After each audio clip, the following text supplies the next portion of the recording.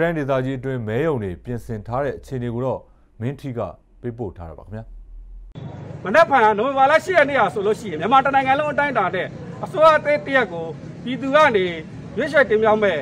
2020အထွေထွေရွေးကောက်ပွဲကြီးကျင်းပတော့မှာပါနိုဝင်ဘာလ9ရက်နေ့ကိုတော့ပြည်ထောင်စုရွေးကောက်ပွဲကော်မရှင်အဖွဲ့ခွဲကနေမဲဆွယ်သားတွေမလုပ်ရတဲ့ silent day အဖြစ်ကြီးညာထားတာလည်းဖြစ်ပါတယ်။မကွေးမျိုးမှာတော့လက်ရှိချိန်ထိမဲဆွယ်ဆိုင်ဘုတ်တွေစတစ်ကာတွေ မဲဆွယ်အလံတွေကိုနိုဝင်ဘာလ6ရက်နေ့ညကနေဖြုတ်သိမ်းထားပြီးတော့မဲဆွယ်စီးရုံးတာတွေကိုလည်းရပ်နာလိုက်ပြီလို့သိရပါတယ်။မဲရုံတွေကိုတော့ COVID-19 ရောဂါကြိုတင်ကာကွယ်ရေးအတွက်လက်ဆေးပစ္စည်းတွေဟန်းဂျယ်တွေ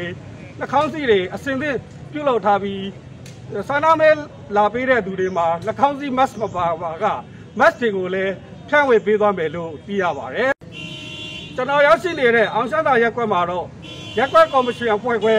ဥက္ကဋ္ဌတွေကိုပုံစံတွေအတွက်တစ်ချိန်သာခေါ်ယူတွေ့ဆုံခဲ့ပြီးတော့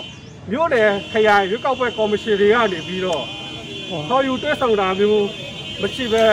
ညွှန်ကြားချက်တွေကိုလည်းတိတိကျကျစာနဲ့ထုတ်ပြန်တာမရှိပဲနှုတ်နေတာညွှန်ကြားတဲ့အတွက်လောက်ဆောင်ရတဲ့နေရာမှာအခက်အခဲတွေရှိတယ်လို့ရက်ကွက်ရွေးကောက်ပွဲကော်မရှင်အဖွဲ့ခွဲဥက္ကဋ္ဌဦးတင်ပေါအေးက DPP ကိုပြောပါတယ်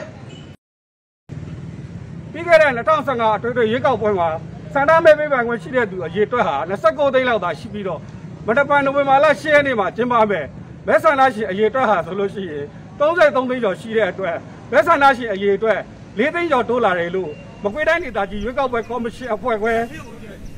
အရာရှိဦးစောထွန်းဦးက DPP ကိုပြောဆိုပါတယ်မကွေးတိုင်းဒေသကြီးအတွင်းမှာတပိပုတ်ကလာလွတ်တော်ကိုယ်စားလှယ်လောင်းဆက်ဆောက်မှုအပါအဝင် ပါတီဆက်၃ခုကနေပြီးတော့လွတ်တော်ကိုယ်စားလှယ်အရေးအတွက်392ဦးဝင်ရောက်အရွေးချက်ခံမယ်လို့